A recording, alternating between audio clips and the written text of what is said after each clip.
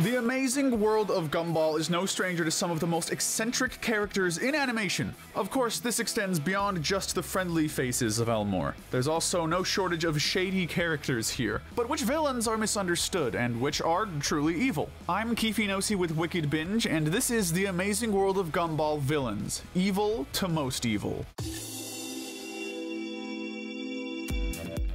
Given the sheer variety and absurdity of Gumball's cast of characters, almost every character has been an antagonist at some point or another. So, for this list, we'll just be focusing on the characters who appear most consistently or most memorably as the bad guys in Gumball's adventures. Oh, and this should go without saying, but as frequently as the Wattersons end up causing the conflict of the show, we won't be calling them villains for the sake of this list. With that being said, let's begin with the antagonists who don't quite fall into being outright bad people. These villains fall in the gray area. Let's begin our ranking with Sarah. While Sarah is by no means a bad person, she didn't make the best first impression for our two main heroes. Her first role as a main antagonist was in The Fan, where she revealed herself to be Gumball and Darwin's biggest fan, even having transferred to Elmore Junior High to be near them. She writes fan fictions about her heroes, stalks them, and watches them sleep, also recording herself doing so. That said, Sarah is far from malicious. For all her extreme social awkwardness, she's actually quite sweet, and not just because she's an ice cream cone. She's just lonely, and all she wants is to be friends with Gumball and Darwin. While she can still cause trouble for Elmore, like accidentally shipping random characters with each other IRL in The Shippening, she's surprisingly thoughtful and does care genuinely for Gumball and Darwin as her friends, even if she still does overstep her boundaries a little bit sometimes. Next up is Billy Parham. Billy is notable for his sense of entitlement and arrogant attitude, perhaps shown best in the episode The Pest, where he begins to ruthlessly pester Anais because she didn't reciprocate his romantic feelings. After being told off by Gumball and a swift shoulder check from Anais, Billy seems to have learned his lesson and is more open minded and nice in later episodes. Another reason why this literal egghead is so low on this list is that he's, you know, a toddler. He's a kid who's still learning and he deserves some leeway. Clayton might be shifty, literally, but he's not all that bad. Introduced as a pathological liar attempting to befriend Gumball and Darwin, he has a habit of exaggerating his achievements and day to day activities to show off to others. However, it's revealed later on in the episode The Move that Clayton is actually just insecure about himself, only exaggerating so that he can feel less boring and make more friends. At the end of the episode, he even scolds Gumball and Darwin for planning to frame Jamie for knocking out Tobias, showing that he actually has a decent moral compass. He also eventually wrestles an alligator to save Gumball and keeps his promise to stop transforming into other residents of Elmore from then on, which is pretty cool of him. Leslie sprouts up just outside of the top three. Although sometimes creepy and off putting, he's usually a nice guy, frequently offering emotional support and advice to his friends. However, Leslie is also undoubtedly a narcissist, and this drags him down a bit. He's absolutely obsessed with his appearance, both in a physical and social sense. He has no issue with sabotaging others to preserve his own image, like in the episode The Triangle, where he tries to sabotage Darwin's solo out of jealousy and frames Gumball for it. For all his flaws, though, Leslie isn't all that bad of a person once you get past his general vanity, which keeps him from falling any further down. Define next character.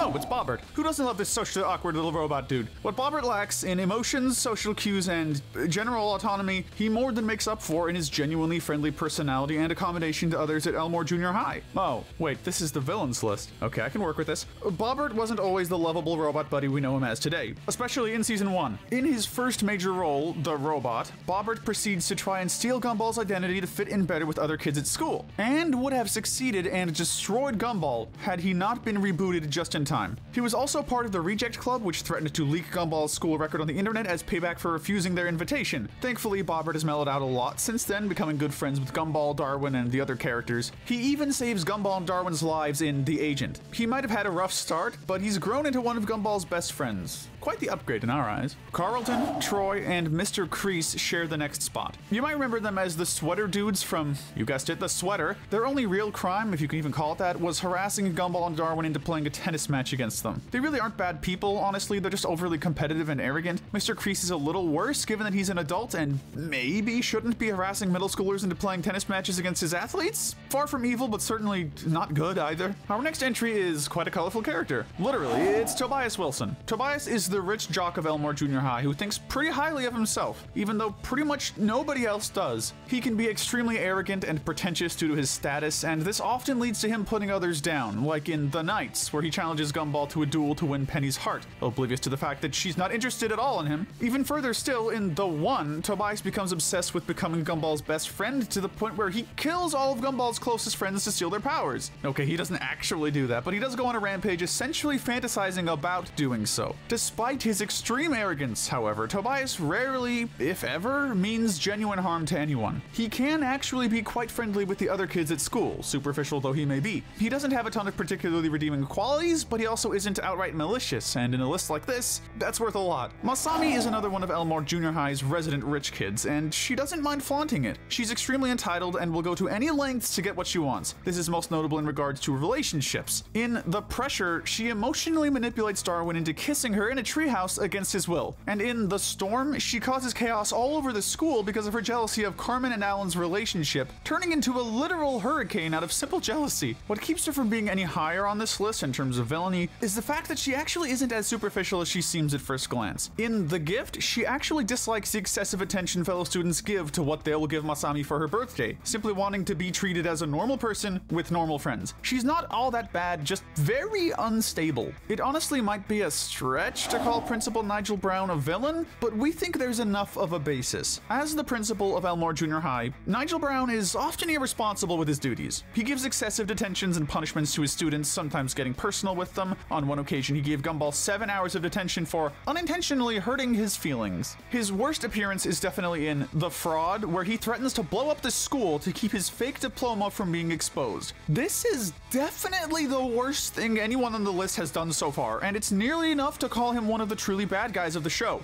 That said, Principal Brown has a lot of good qualities as well. First of all, it can be said that, to an extent, he cares about his students, occasionally trying to teach them valuable lessons or check up on families he suspects as being troubled. He even made a home visit to the Watterson house when he suspected Anais was uncomfortable with her home environment. He also genuinely loves and cares for Miss Simian, and although their relationship sometimes distracts him from his duties as the principal, he has taken the side of Gumball and Darwin against her in the apology when she tried to get them in trouble without cause. Next door down the list is unfriendly neighborhood Mr. Robinson. Probably the most memorable character on this list so far, Gaylord Robinson is the Squidward to Gumball's SpongeBob. A grouchy neighbor through and through, he's the object of Gumball and Darwin's obsessive affection. He's quite consistently mean to them and pretty much everyone else in Elmore.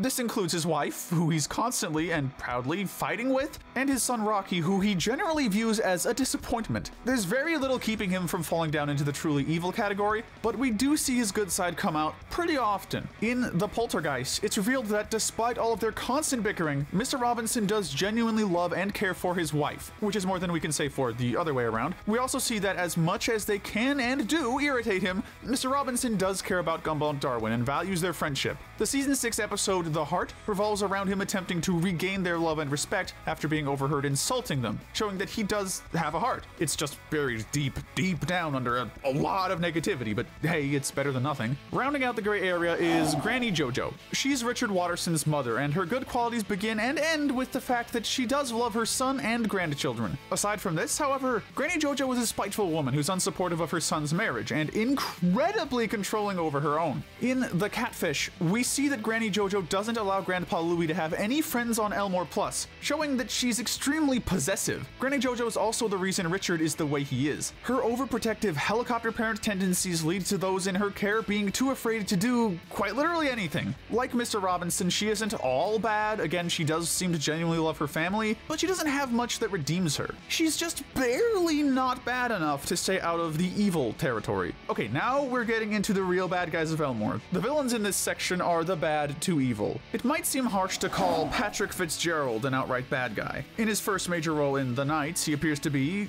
pretty average. He's stubborn and overprotective, sure, but he genuinely loves his daughter and wants the best for her. Then the shell comes into play and yeah, he pretty much loses our good graces here. It's revealed that Penny's true form underneath her shell is a shape-shifting, fairy-like creature. The reason for this being under wraps for so long is that Patrick had forced Penny to keep her true self locked away because it could cause chaos if poorly controlled. While this is somewhat understandable, it's more so a sign that Patrick prefers to take the easy way out when it comes to parenting. Rather than help Penny be herself and learn to control her powers, he instead makes her bottle them up for years on end to ensure that he doesn't have to suffer the consequences of her instability.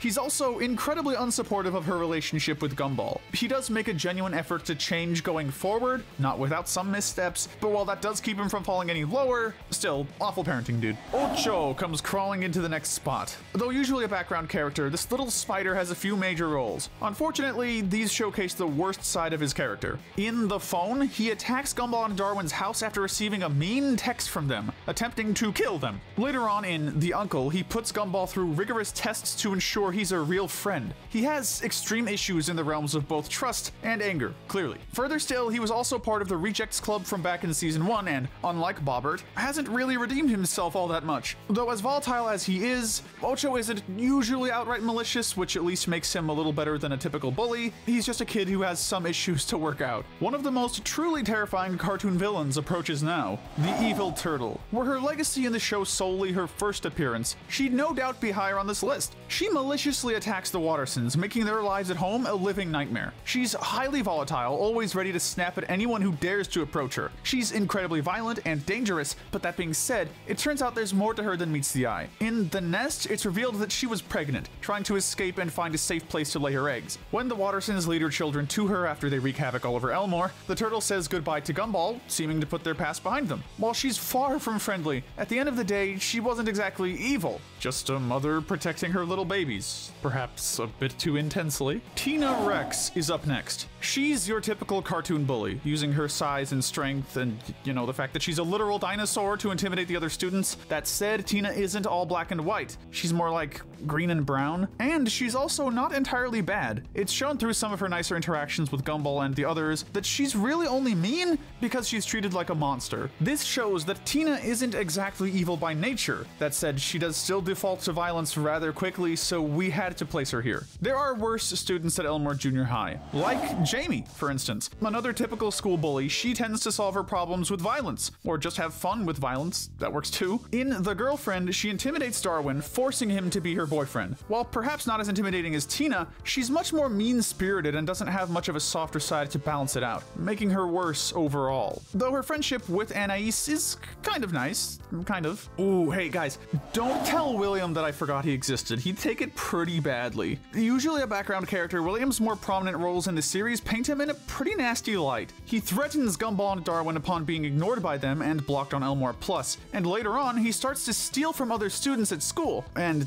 again tries to kill Gumball and Darwin. Even the Reject Club didn't want this dude. Honestly, the only reason he's not ranked as more evil is that we just feel really bad for him. Life can't be easy for a floating eyeball with no appendages and no voice. He's a total outcast, even in a world as objectively odd as Elmore. It doesn't excuse his actions, but still, poor guy. Julius Oppenheimer Jr. is perhaps Elmore High's biggest delinquent. Although a very secondary character, his threats of violence and general criminal activity land him pretty low. Especially awful is his attempt to manipulate Darwin in The Sucker. Although by the end of the episode, he actually learns a valuable lesson and seems to consider Darwin a friend. Who knows? Maybe he's not such a bad guy after all, but he's still got to be placed down here for his general delinquency. Next up are Nicole's parents, Daniel and Mary Senicourt. Rarely do they make any appearances in the series, but when they do, it serves to reveal their awful treatment of Nicole, or I suppose Dr. Nicole. They're unsupportive of her marriage, incredibly overbearing regarding her achievements, and just nasty people all around. Many viewers can likely find Nicole relatable here. Growing up with overbearing parents is far from uncommon, so these two can cut particularly deep.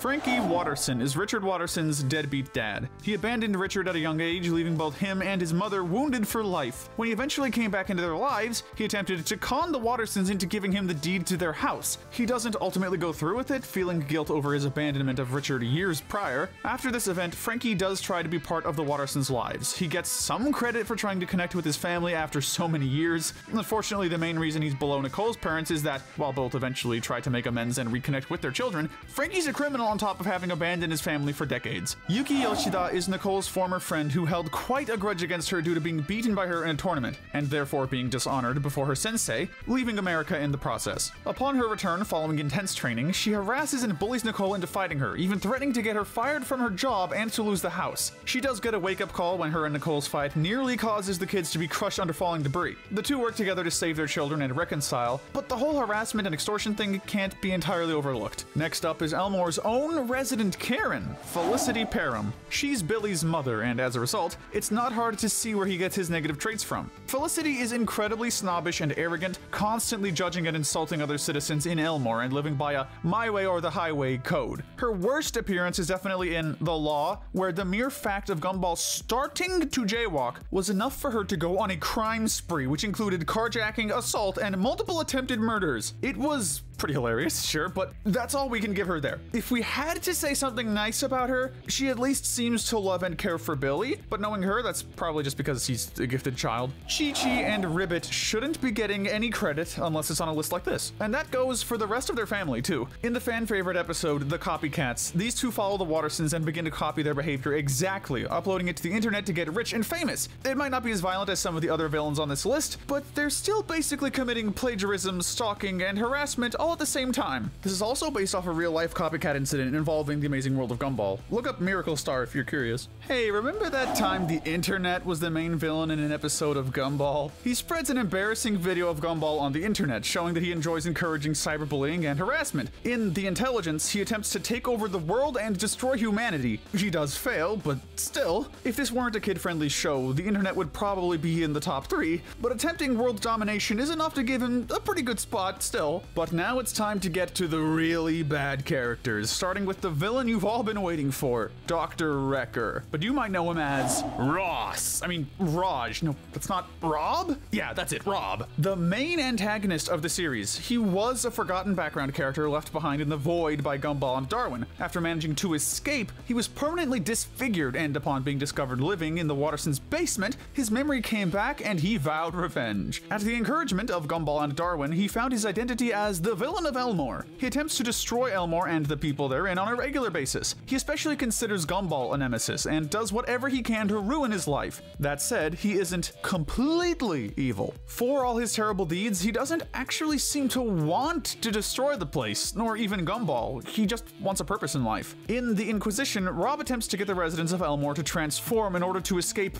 something. This was the final episode, so we don't know exactly what he meant by this, but this was a pretty noble moment for the main villain of the series. Still, only time will tell whether Bob is truly redeemable or not. Oh, sorry, I meant Rob. At some point or another, we've all had a Harold Wilson in our lives. The father of Tobias, Harold generally seemed like a relatively tame, if obnoxious, citizen of Elmore. Definitely an arrogant womanizer, but still not that bad compared to others on this list, right? Enter The Cycle, an entire episode dedicated to showing his incredibly mean spirited habit of bullying Richard. He's been doing this since high school for seemingly no reason, which makes it even worse. He might be more civilized than other characters on this list, but Harold is undoubtedly a pretty nasty guy, and when he's not being a bully, he's at least being a nuisance. Miss Simian ended up even lower than expected on our list, and we expected her to be pretty low. Mean teachers are one of the most classic villain archetypes in the book, but Miss Simian has to be one of the worst. Every good deed Miss Simian does, she only does out of necessity or because it benefits her in the end.